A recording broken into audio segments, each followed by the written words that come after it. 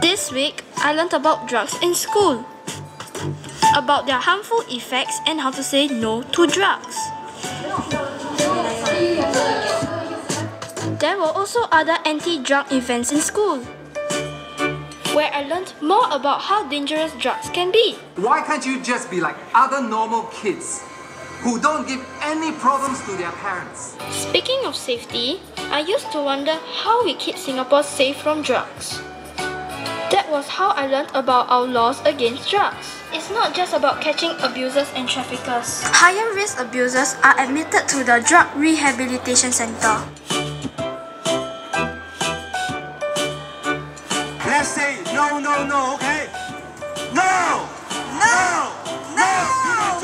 We are at the opening plenary of the 2016 Commission on Narcotic Drugs, where governments are preparing the outcome document for the United Nations General Assembly Special Session on Drugs, which will take place next month in April in New York. Last time the General Assembly uh, met and discussed drugs 20 years ago, they gathered under the slogan, a drug-free world, we can do it. Unfortunately, the latest draft of the outcome document is rather disappointing. It still re reconfirms the commitment of governments to create a society free of drug abuse, which is clearly a utopian target. There is a deepening gap between reform-minded countries and conservative countries. Albert Einstein dijo que no, que es una locura empeñarse en hacer siempre lo mismo esperando resultados distintos. Pese a la contundencia que encierra esa afirmación, eso es lo que hemos venido haciendo desde hace cerca de 40 años cuando el presidente Nixon declaró la guerra contra las drogas. There is a conclusive scientific evidence that harm reduction saves lives, improves public health and public safety. It's extremely important that we state this in the UNGASS outcome document.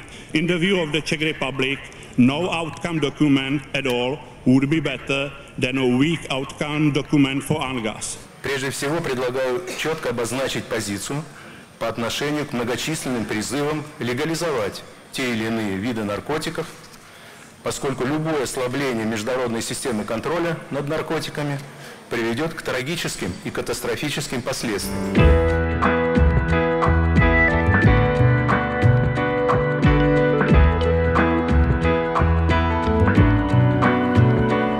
How do you see the, the future of, of international drug control? The tensions are growing.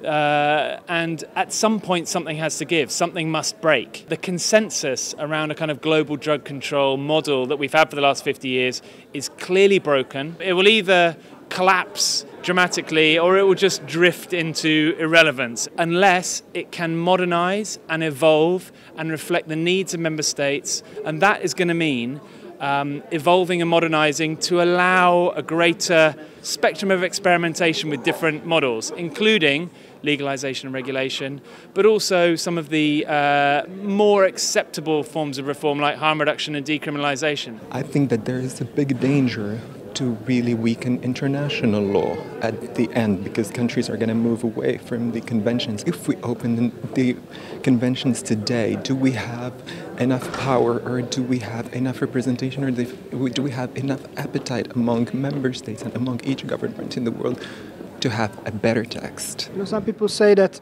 uh, we need a new drug convention. Other people say that it's not important because we can move in within the flexibility of these conventions. What do you think about that? These conventions should be deleted at once.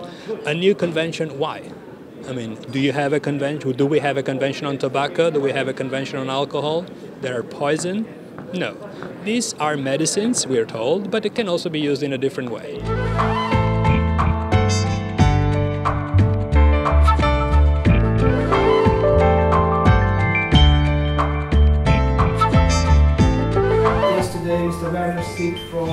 International Narcotics Control Board said that the legalization of non-medical use of cannabis is not in line with international conventions. And uh, as we know, several states of the United States uh, uh, made the recreational use of cannabis legal for adults. So do you think that this is not in line with the international uh, law?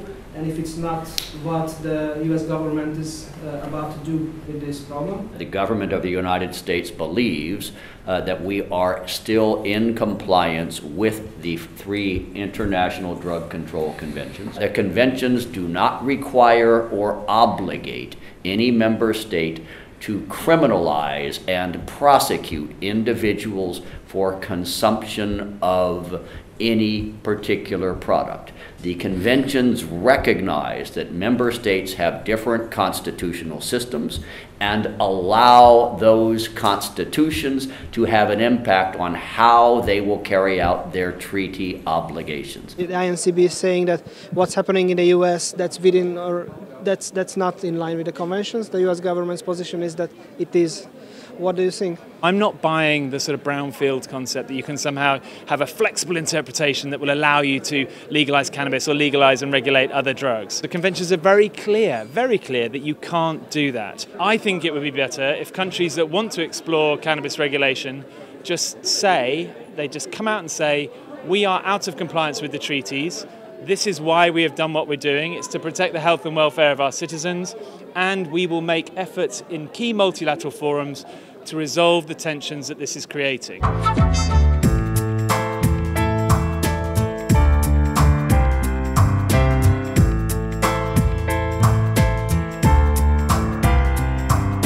You mentioned there is an ongoing opioid epidemic in the US with several victims of overdose, and um, uh, some NGOs and uh, even a mayor in New York State proposed the idea of opening supervised injection sites to uh, tackle this problem. Uh, and there are several such facilities in Europe.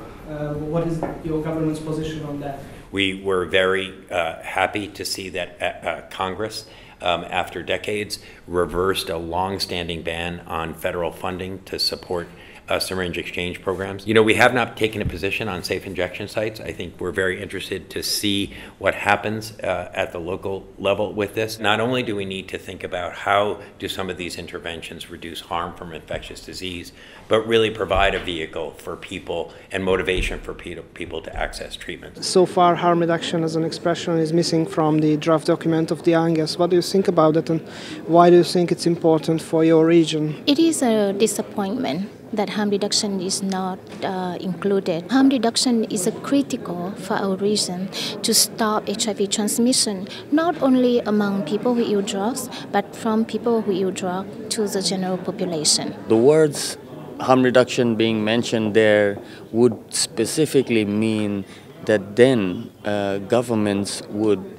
have to implement uh, the nine interventions of WHO at least. Harm reduction is a part of the modern human oriented drug policy, which works perfectly concerning all topics and all aims of the, harm, of the public health approach. On Monday, um, a group of around 200 civil society organizations and networks from all over the world released a civil society statement um, raising some very serious concerns, both about the UNGASS pre- preparations and process, and also about the current draft of the outcome document. And the General Assembly agreed the words harm reduction as far back as 2001 in the political declaration on HIV/AIDS. So why those words can't appear now? It's it's you know it's it's slightly baffling. We should be making stronger demands.